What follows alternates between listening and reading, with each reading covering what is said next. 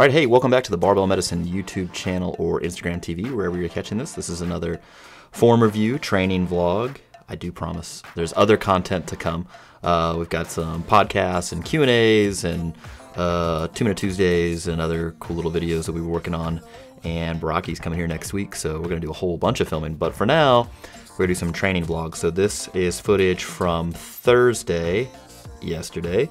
Uh, and we've got Baraki, myself, and Leah uh, doing a bunch of different stuff. So let's uh, hop into it.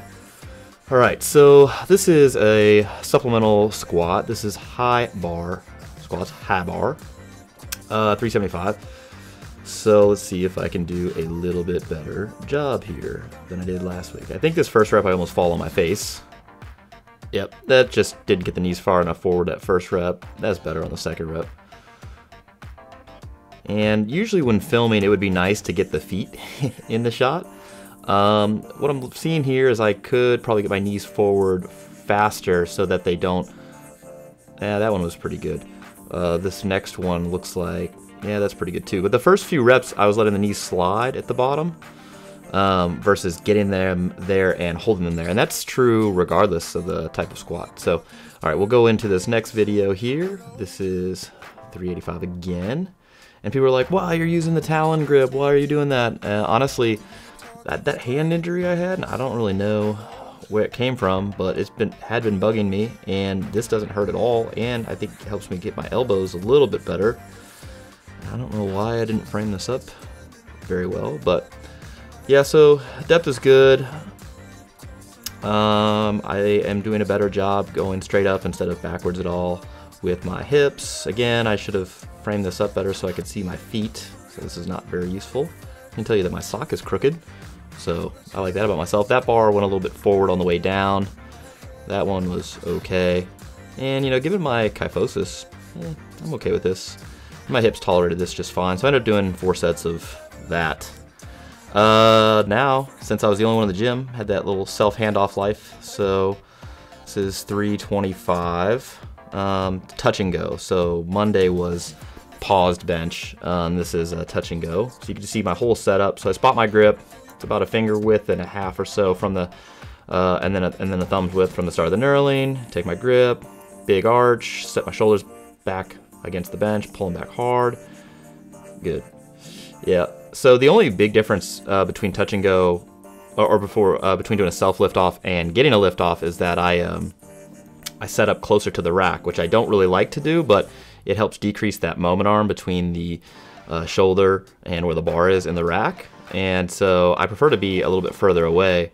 Um, but if no one's helping me out, I gotta I gotta do it myself. So uh, my touch and go bench is actually less, or maybe only five pounds more on the best day that I've ever had. Uh, that for uh, than my pause bench for a single rep, but for repetitions, um, I find that my touch and go is much higher than my pause bench. So if you guys look back on Monday, I did 325 for sets of six paused, and touch and go I'm doing the same for eight. So I just think uh, uh, the repetition, um, you know, when the reps go up, it's a little bit better uh, for me for touch and go compared to paused. Uh, but for a single, I think I'm just so efficient at doing the uh, paused paused work um, that it's a uh, a, a, little bit better for me doing doing the, the pause rep than touch and go. Uh, and this is, uh, I think, my last set. So uh, again, here you can see my leg drive. So I that's where I keep my feet.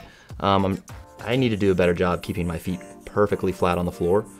Um, I don't know why I'm wiggling around. But again, watching video is helpful. So yeah, you can get in all sorts of weird habits if you don't watch. So here we are watching. Oh, good, I forgot I took my shirt off. Um, so yeah, again, we don't have uh, any uh, uh, heavier dumbbells than the um, than the hundreds. So I'm gonna do these first set of 12 again, and just watching these again. You don't know until you watch. I probably would have focused on fully extending my arms a little bit more. Um, yeah, well, can't be perfect. But yeah, I, I think uh, next week, so I did four sets of 12 here. Next week, I'll either add a set. I think that's what I'll probably end up doing. That I was going to add a rep to each set, but I think I'll just add another set. That'll be the plan, I think. uh, unless I switch exercises. So we'll, I'll do a little mini block review. Uh, here's Leah, safety squat bar squat. So this places the bar up higher and forward, so it's similar to a front squat, but not quite. So front squat, high bar squat, hybrid. Um, notice the knees have to go further forward first and chest needs to stay up. Uh, she is pushing up on the handles during the descent and ascent, so that way, um, you know, she can keep her thoracic spine pretty well set. And I made her do these for a bunch of reps, so that's why the weight is fairly light. I believe this is 200. That's what I wrote anyway. Because the bar is 80 or 85 pounds, depending on the manufacturer. I think actually some of them are heavier, but the most common ones, I think this is a, either a Rogue or Elite FTS, are either 80 or 85 pounds. So with straight bar weight, that would be, you know, 165 plus, you know, another 35 or 40, call it 200.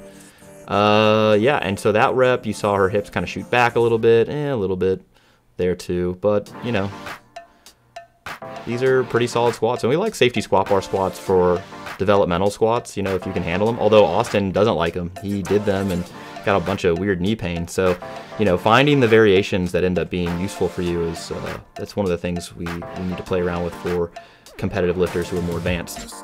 Uh, this is Baraki, not doing west side or going to equip lifting, but he's using uh, knee wraps. So knee wraps store energy during the descent of the squat and a. uh, uh, act as sort of a spring on the knees. And so he's going to do an easy 495 for I think six. It actually may be more than that, but I can't tell. And I forgot if he told me. So, uh, yeah, these look really good. He lifted his chest on the last rep a little bit, but I think it's the first time in knee sleeve or knee wraps, so that's uh, pretty good. Baraki gets a pass. So another training vlog down. Hopefully you guys are enjoying these.